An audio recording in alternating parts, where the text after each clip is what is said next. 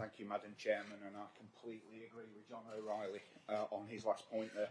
Um, so, over the past several months, as a member of the Vice and Vice Chairman of the Communities, Environment and Highway Select Committee, I and other members have provided feedback on a great deal of the environmental policies and aspirations that could help us achieve a net zero council by 2030.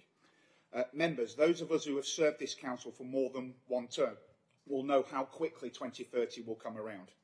We have so much work to do in order to achieve this, and to my mind, I think this will be one of the most challenging things this council will ever face.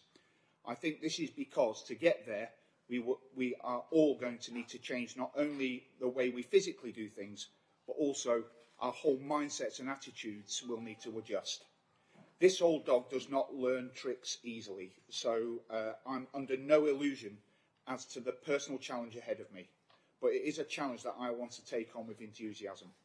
I do think that by leading by example and making small changes now can make a big difference to our greener future.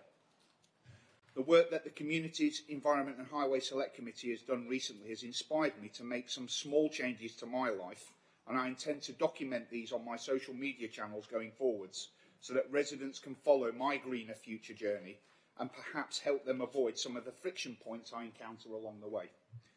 I have already got the ball rolling and last week I ordered my first e-bike. It is my intention, thank you, It is my intention that my car will be going back to the lease company and my family will go down to one car. My e-bike will become my prime, primary mode of transport from January 2022. So that's my commitment.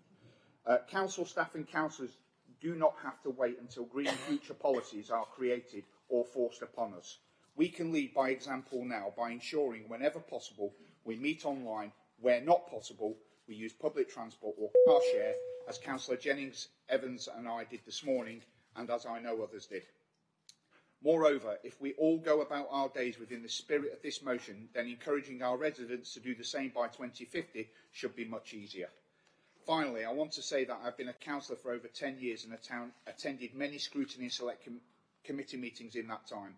I've never known a committee such as the Communities, Environment and Highway Select Committee where cross-party members are in such broad agreement with one another, at least when it comes to environmental matters. I have been inspired by cross-party collaboration of this committee, and I hope that continues so that the county can be a healthy, clean and green environment for all its residents. I wholeheartedly support this motion, and I hope that all members of this council will do too. Thank you. In terms of cross-party support, I have to say that the members group, reference group has been a good example of cross-party support. We've got members for all the political parties, apart from, sadly, the Labour group, because there doesn't happen to be a member of the Labour group on our select committee. But that doesn't mean we can't co-opt the members of the Labour group to the, to the members' reference group in future if they wish to be part of it. So that's something that we can consider. Um, So uh, the, the members' reference group has worked extremely well on a cross-party basis.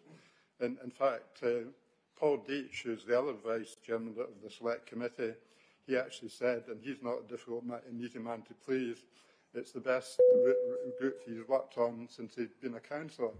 So that, that's high praise coming from someone from like Paul. So I'll leave it at that, and, and just to say that we've also had some very good presentations from senior officers, from Katie Stewart, from Carolyn McKenzie, and it's very clear that the officers are very committed to this project as well as, as well as the members. Thank you, Madam Chair. That's all I want to say at the moment.